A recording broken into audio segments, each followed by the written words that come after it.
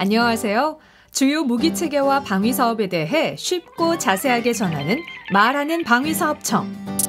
사람들이 오래전부터 머릿속으로 상상해오던 일들을 현실로 만들고 있는 4차 산업혁명 시대. 첨단 정보통신 기술을 통해 각종 업무를 할 수 있는 무인 시스템이 늘어나고 있습니다. 이는 국방 분야에서도 예외는 아닌데요. 현재 세계 각국은 4차 산업혁명 기술 중 하나이자 사람의 개입을 최소화한 무인 기술을 활용하여 미래 국방력 강화에 집중하고 있습니다. 과연 국방 분야와 무인 기술이 만나면 어떤 모습일까요? 오늘은 스마트 국방의 필수 요소, 무인 국방 기술에 대해 알아보겠습니다. 말하는 방위사업청 지금 시작합니다.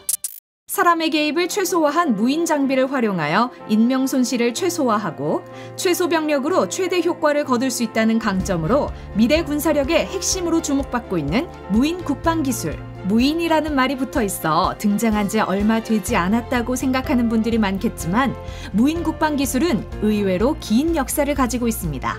여러분은 19세기에 태어난 천재 과학자 니콜라 테슬라가 무인 체계의 아버지로 불린다는 사실을 아시나요?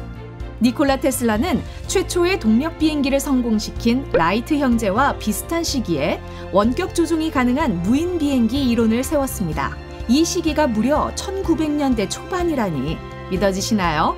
아쉽게도 실제 개발로 이루어지진 못했지만 1910년대의 미국은 이 이론을 기반으로 날개를 분리하여 폭탄으로 목표물을 타격하는 최초의 군사용 무인 비행체 캐터링버그를 개발했습니다. 시대를 앞서 나간 이론과 무인 비행체의 개발을 시작으로 1939년 독일은 원격 조종으로 지뢰지대를 개척하는 최초의 소형 전차를 만들었습니다. 무선 통신 장치로 조정해서 지뢰밭을 향해 굴러가도록 했다고 합니다. 1953년에는 프랑스 출신의 드미트리 레비코프가 귀여운 이름을 가진 최초의 원격 무인 잠수정 푸들를 제작하는 등 무인 국방 기술은 계속해서 역사에 등장했죠. 이처럼 오래전부터 직접적인 사람의 조종 없이도 임무를 수행할 수 있는 무인 국방 기술 개발이 시도되었는데 왜 무인 무기 체계는 빛을 보지 못했을까요?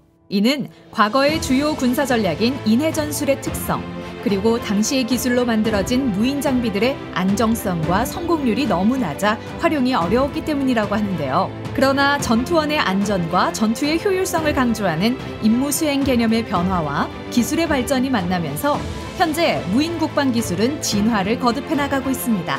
그렇다면 현재의 무인 국방 기술은 어떻게 발전해 있을까요? 우리나라의 무인 국방 기술은 어떤 모습일까요? 우리나라의 무인 국방 기술과 미래의 모습은 다음 영상에서 만나보실 수 있습니다. 지금까지 말하는 방위사업청이었습니다. 감사합니다.